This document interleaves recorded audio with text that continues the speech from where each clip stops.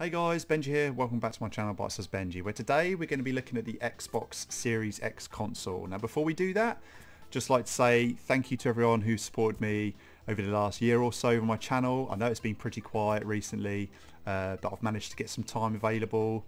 Thank you mainly to a second lockdown in the country where I live. And hopefully I'll be able to get some more content out for you. And it kind of nicely coincided with the Xbox Series X launch and obviously PlayStation 5 next week. But today we're going to be looking at the Xbox Series X. Now, before I carry on, like I said before, thank you all for your support. If you're new here, please like and subscribe. That'd be great. Help me out on my channel and hopefully push for that 100 subscribers. So thank you guys for watching and supporting. Let's carry on. So, little backstory about how I got my Series X. So, I wanted to do a full unboxing, like open it on launch day, and just show you guys me reacting to open it for the first time. Unfortunately, my delivery was a little bit late. Yeah, it didn't arrive until I think it was about half past nine at night, nine o'clock, something like that. So it was a very frustrating day waiting for it because I wanted to do a load of unboxing videos and everything, but um, I knew that I'll probably have to set up the console, do a load of updates, obviously download some games, which is going to take time.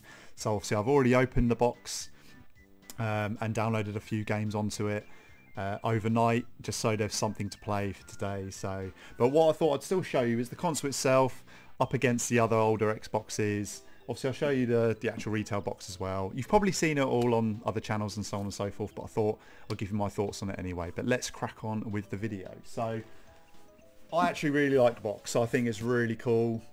It's very impactful nice green with the grill. I really think that's cool. Uh, obviously Xbox on the side. Obviously all the information on here. So you've got you know 4k gaming one terabyte 4k blu-ray player all that stuff. You probably already know anyway but that's just all and all the contents inside the box as well. And this is the bit that makes me sad because we all know halo infinite should be with this bad boy.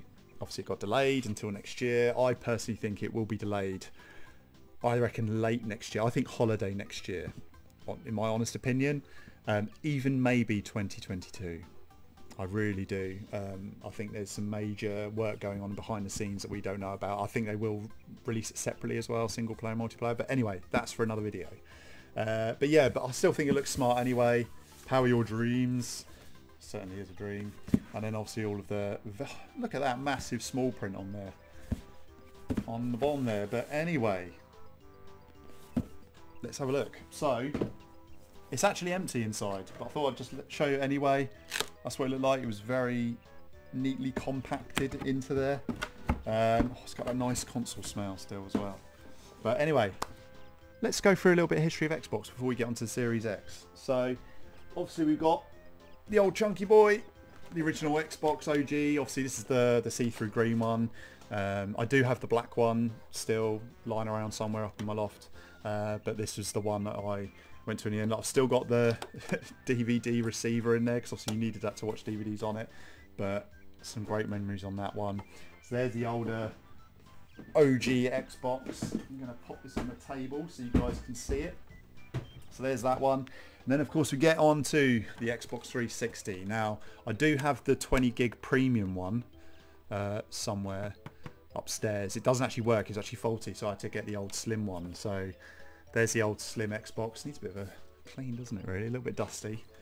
But uh, probably my favourite Xbox console of all time.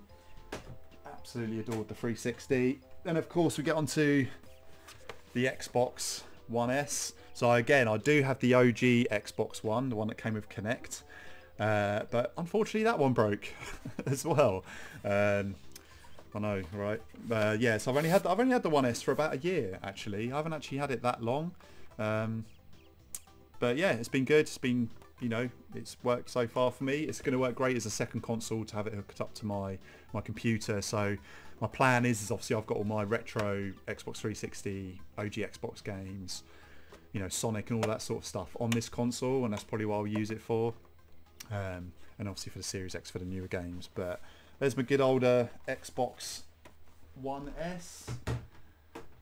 And now, obviously we go into a new generation. And here it is. The good old Xbox Series X. There it is in all its glory with the green on the top. It is a shame it's not a light. I think a lot of people are disappointed that that wasn't a light because obviously when it first got revealed, everyone's like, whoa, it lights up green inside. But obviously it's not got that in there. Very basic look to it. Um, it's a li- some people like the minimal design, but I I like consoles that just they kind of have their own identity, you know. Like I say that, I mean, no other console looks like this really, but PC towers do, you know. Whereas all the other Xboxes, you know, they have their own specific design. Whereas, you know, this is it is literally just a giant Lego brick, but it does what it needs to do: play games very well. So yeah, I'm I'm okay with it. I'm actually not a fan, even though I've got two of my consoles up uh, vertical there. I'm not actually a fan of having my consoles vertical, which is this was quite clearly designed to do. Um, but I'm going to be having it horizontal. I always have, always will. Um, but yeah, that is the Series X. And there is uh, the back. You know, all the ports as well. Obviously, it took away the, the HDMI in, which was actually quite handy because I have my 360 actually hooked up uh, to my old Xbox One. So, you know, it didn't take up a HDMI space on my TV because I've got so many consoles hooked up to it. But uh, but there it is. There is the Xbox Series X. Really looking forward to getting stuck into it. Like I say, I've literally spent, you know, well, not me personally, but you know, spent a lot of time overnight downloading all these games, updates, you know, Series X optimized games. So hopefully, uh, I'll get some more content out for you on that one. But before I go, let's have a quick look at the controllers. So I haven't actually got my OG controller with me because it's in a again in storage. It's going to take a lot of time trying to go through it, trying to find it all. So, but I thought I'd, I've still managed to dig out some of my older controllers. So obviously we've got the 360 controller, got the white one there, got the old black one there. Still my favourite controller, so good. And then obviously we've got the Xbox One, Day One Edition, 2013. You know, it served me well, but look at the analog stick on that. You know, it's it's literally lost its its cushion on it. It's just completely gone. Um, and then my 1S controller, which still got some nice clickiness to it because it's still relatively quite new. It's been there for a minute. And then there's the Series X controller. There it is.